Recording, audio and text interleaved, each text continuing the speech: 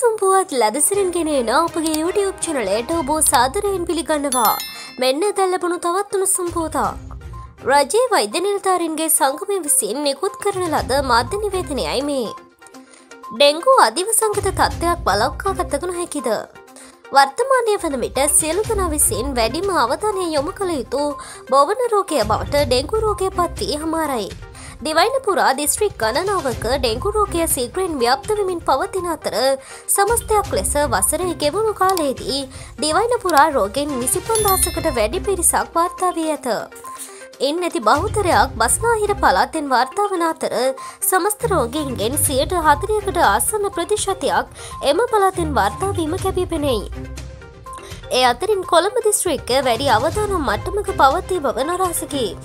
බස්නාහිර පලාතට අමතරව යාපනය ගල්ල කුරුණැගල මහනුවර රත්නපුර යන දිස්ත්‍රික්කවලද සැලගේ යුතු රෝගින් ප්‍රමාණයක් වාර්තාවමින් පවතිී.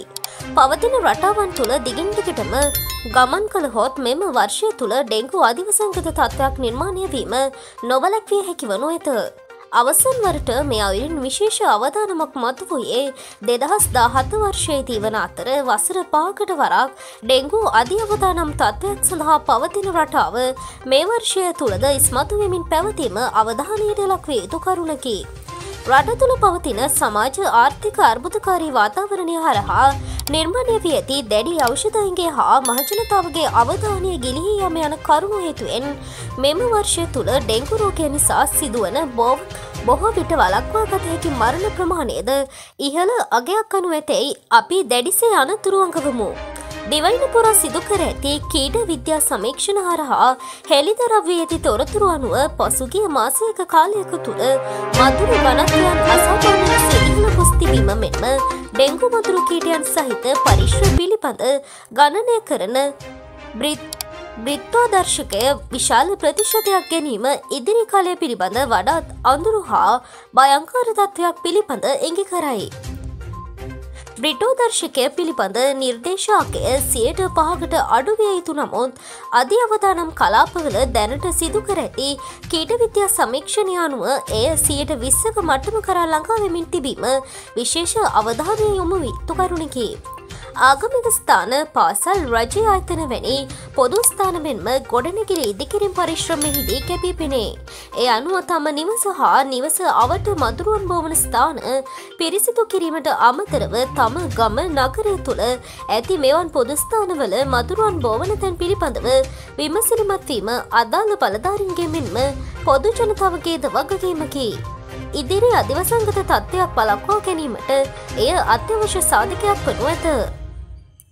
දැනටත් ලෝපුර ඇති අත්දැකීම් අනුව ඩෙංගු රෝගය පාලනය සඳහා ඇති හොඳම හා සාර්ථකම ක්‍රමවේදය පරිසරය තුළ මදුරුවන් බෝවන ස්ථාන අවම කිරීම බව තහවුරුපී ඇති පසුබිමක රාජ්‍ය පරිපාලන අමත්‍යංශය මගින්ද ප්‍රකාශයට පත්කර ඇති සිකුරාදා දින රජයේ නිවාඩු දිනයේ වාසියද ලබා ගනිමින් තම නිවාස හා නිවාස අවට පිරිසිදු කිරීමේ කටයුතු සඳහා සක්‍රිය දායකත්වයක් ලබාදීමට කටයුතු කිරීම සියලු පුරවැසින්ගේ වගකීම බව අවධාරණය පාලනය කරමු.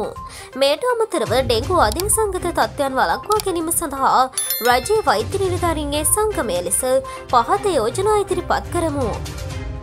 ප්‍රාදේශය වශයෙන් ඇති අධි අවධානම් ග්‍රමනිධාරී වසම් සහ තීව්‍ර අවධානම් සහිත ස්ථාන හඳුනා ගැනීම වැඩපිළිවෙල ශක්තිමත් කොට ග්‍රාමීය ප්‍රදේශ හා ප්‍රජාකමිටු හරහා පරිසර පිරිසිදු කිරීම ඇතුළු මදුරු මර්ධන කටයුතු සම්බන්ධීකරණය කිරීම.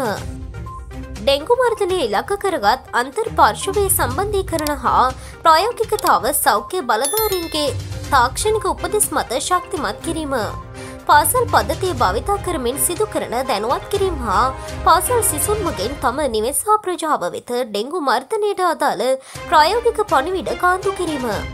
මදුරු මර්ධනය සඳහා දුමානය ඇතුළු අනෙකුත් ක්‍රමවේද නිවැරදි තාක්ෂණික මගපෙවනීමක් තුළ ක්‍රියාත්මක කිරීම. අවශ්‍ය ස්ථානවලදී නීතිමය කෘත්‍යයන් දැඩි ලෙස ක්‍රියාත්මක කිරීම. ඉදිරි අධිවසංගත තත්ත්වයන් වලක්වා ගැනීම සඳහා බලධාරින් සතු වගකීම මෙන්ම පුරවැස්සෙන සතු යුතුකම අමතක නොකළ යුතු බව අද අවධාරණය කරමු. ඒ සඳහා රජයේ වෛද්‍ය නිලධාරීන්ගේ සංගමය ලෙස අපහට ලබාදී හැකි උපරීම සහයෝගය සියලු පාර්ශවෙත නොපැකිලිව ලබාදීමට සපත කරමු. මෙවැනි උණුසුම් පුවත් ලදසනින් දැන ගැනීමට අපගේ YouTube චනලය සබස්ක්‍රයිබ් කර බෙල් අයිකනින් ක්‍රියාත්මක කරන්න.